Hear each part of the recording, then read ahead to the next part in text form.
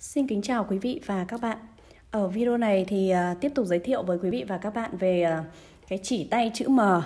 Chỉ tay chữ M là chỉ tay như thế nào? Chữ M trên lòng bàn tay được tạo thành à, từ bốn đường.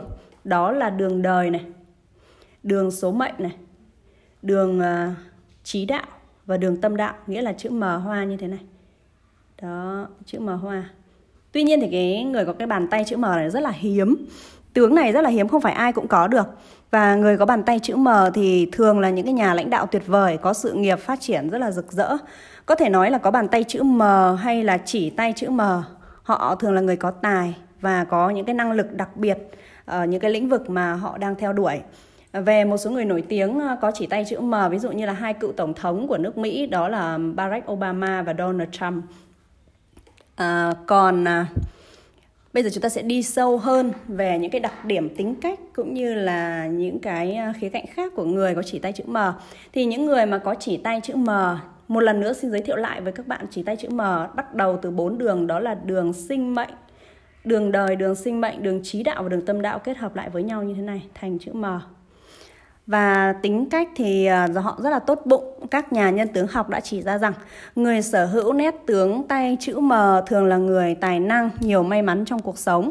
Nếu mà kết hợp với tướng mặt vuông vắn thì đó là người khoan dung nhân hậu và thường có tình cảm êm đẹp. À, vì có trực giác rất là tốt nên là họ có thể nhìn thấy sự uh, dối trá này, luôn đề cao tín nghĩa lên một khi họ đã đánh mất lòng tin ở họ thì rất là khó có thể lấy lại được.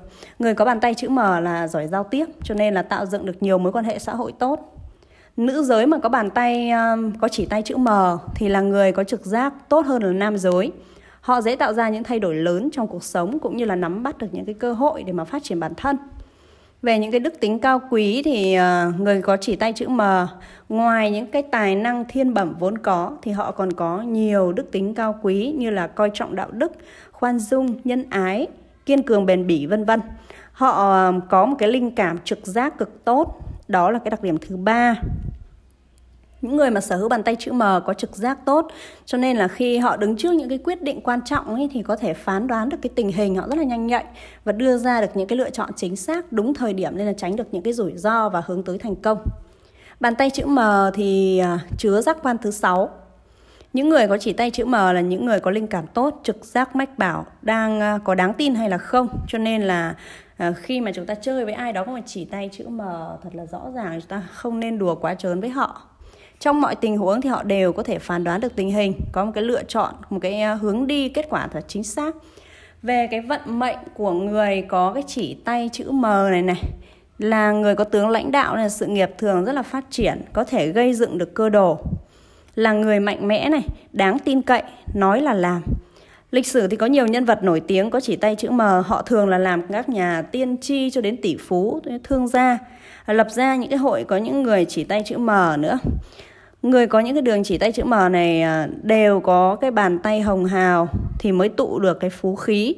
Và trong cuộc sống hay công, trong công việc ấy thì đều có quý nhân phù trợ. Nghĩa là họ không may mắn về mặt này thì họ sẽ may mắn về mặt khác. Kiểu gì họ cũng sẽ gặp được cái may mắn trong cuộc sống.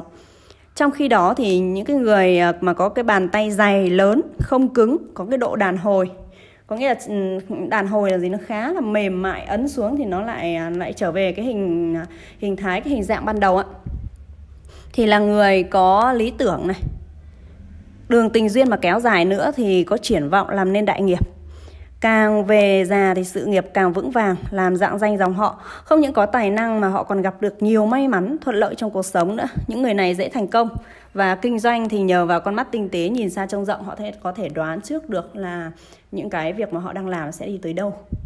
Đó là những chia sẻ về um, những người có chỉ tay chữ M rất mong là có thể giúp các bạn hiểu ờ, nhiều hơn về cái ý nghĩa của nó. Thì ờ, mọi thắc mắc thì có để có thể để lại những cái bình luận dưới video, chúng tôi sẽ giải đáp. Xin ờ, trân trọng và cảm ơn.